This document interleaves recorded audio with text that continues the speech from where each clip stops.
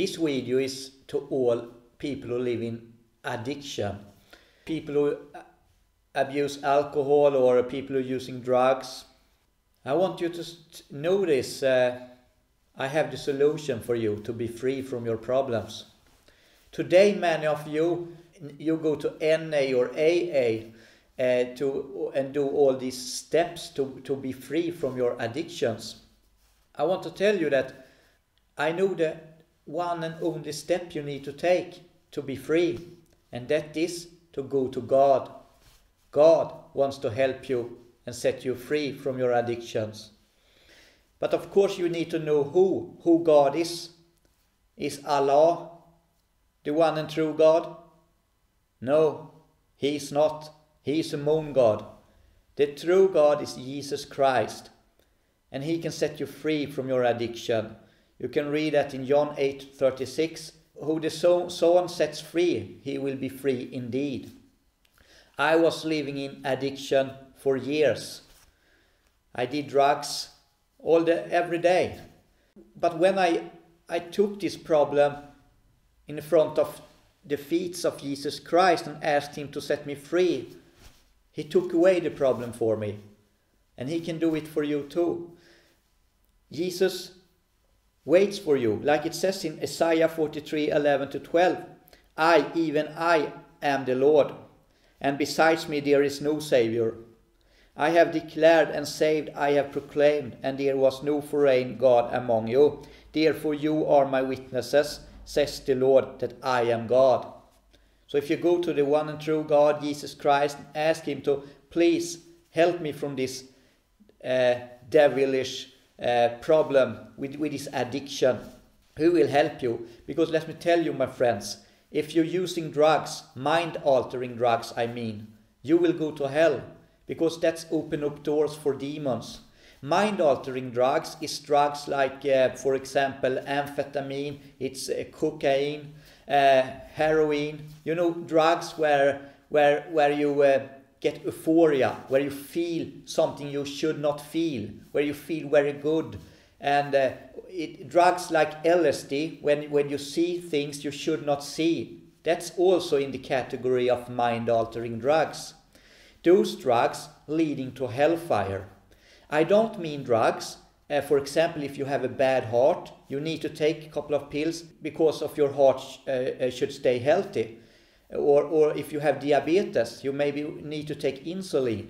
That's another level. Those drugs are, are okay to take. But, but drugs like uh, those mind altering drugs, where you feel things you should not feel, where you get high, those leading to hell, it open up doors for Satan and his demons. They just go right into you if you take those things. It can be exceptions. For example, if you have uh, uh, cancer, if you have very, very much pain, I, I totally believe that it's okay to take morphine for the pain if you take it like you, you should take it. Uh, but if you if you are not sick, if you have no pain, and take take a morphine to, to get high from it, that leading to hellfire. So think about this. I, I know that uh, addiction is very hard to get go go out from uh, to stop, but but Jesus can set you free, and uh, He can heal you, like it says in Second Kings twenty five. Thus says the Lord, the God of David your father, I have heard your prayer, I have seen your tears, surely I will heal you.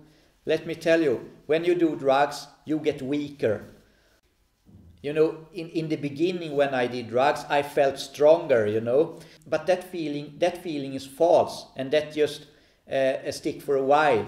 Because after a while you get so broken from, from those pills and this addiction, so, so you get weaker and weaker. You will be broken-hearted. But Jesus can heal you. He wants you to come to Him. God is calling you to come out from the darkness, from, those, from this addiction. He wants you to come into His marvelous light. He's waiting for you. And uh, in Isaiah 41:13 it says, For I, the Lord your God, will hold your right hand, saying to you, Fear not, I will help you. God will always stand beside you. He will help you. it's it's like this you will still get uh, uh, tempted when you follow jesus that will not disappear satan is like a roaring lion and he he's seeking for after who uh, he can devour. So he will he will tempt you when he he know the best chance to tempt you is he will tempt you.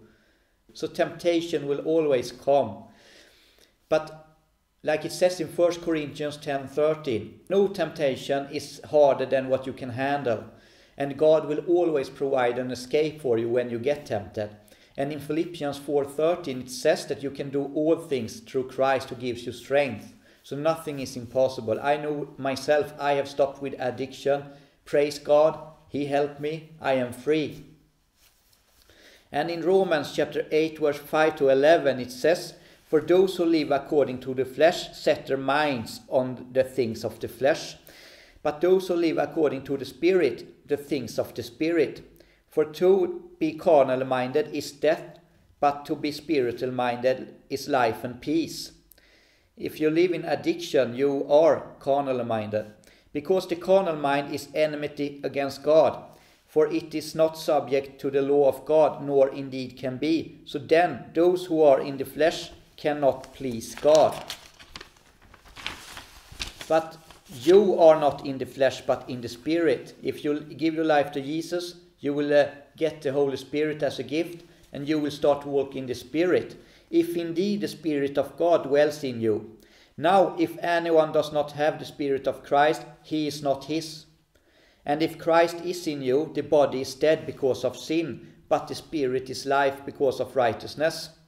But if the Spirit of him who raised Jesus from the dead dwells in you, he who raised Christ from the dead will also give life to your mortal bodies through his Spirit who dwells in you. God raised Jesus from the dead on the third day. He can do everything. He have made everything. He can do everything. No demons is stronger than what, what Jesus can uh, take away. So if you live in hard addiction to breakthrough, Jesus can take away, Jesus can get rid of the demons uh, for you. He can set you free. And like he says in Romans 8:13, if you live according to the flesh, you will die.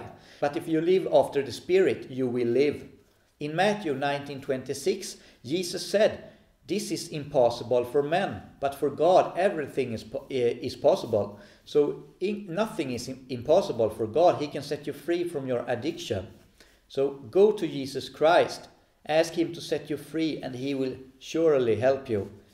He has a plan for you. Like it says in Jeremiah 29 11, For I know the thoughts that I, I think toward you, says the Lord, thoughts of peace and not of evil, to give you a future and a hope. Jesus has a plan for you. Go to Him. No problem is bigger than what Jesus can handle. God bless you.